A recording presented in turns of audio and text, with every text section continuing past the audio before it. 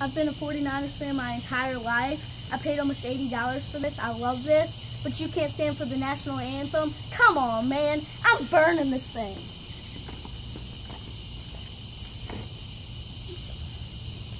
Let's use the rookie card, Dad.